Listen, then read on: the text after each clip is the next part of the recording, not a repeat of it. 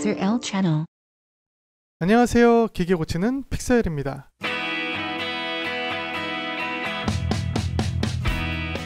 자, 오늘은 산업 장비에 달려 있는 컴퓨터의 하드 디스크를 백업해 볼 텐데요. 제가 자주 사용하는 쉽고 가볍고 강력한 무료 백업 소프트웨어도 공유하려고 합니다. 채널 고정해 주세요.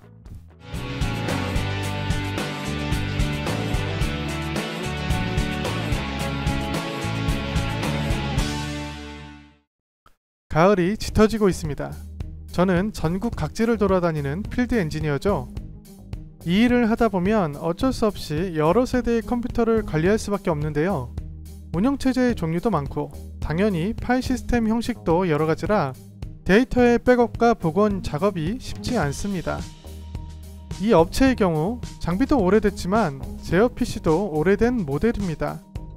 원래 500MB IDE 하드가 탑재되어 있었는데 하도 고장이 잘 나서 1기가짜리 CF 메모리로 올해 초에 교환해 드렸었죠. 운영체제가 OS2이고 파일 시스템 형식이 HPFS 타입이라 우리가 사용하는 윈도우 운영체제와 파일 호환이 안됩니다. 그래서 파일과 폴더를 복사하거나 백업하기가 매우 불편하죠. 그래서 저는 다양한 파일 시스템을 처리할 수 있으며 가볍고 사용하기 쉬운 셀프 이미지 소프트웨어를 오래전부터 사용하고 있는데요.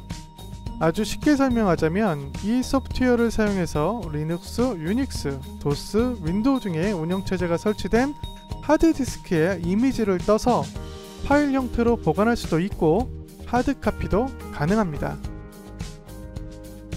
이 셀프 이미지 소프트웨어의 장점을 몇 가지 나열해 보면 첫 번째로 무료 소프트웨어라서 누구나 사용할 수 있다는 것이 가장 큰 장점이고 두 번째는 우리가 주로 사용하는 고스트나 아크로니스보다 훨씬 가볍고 사용하기 쉽다는 겁니다.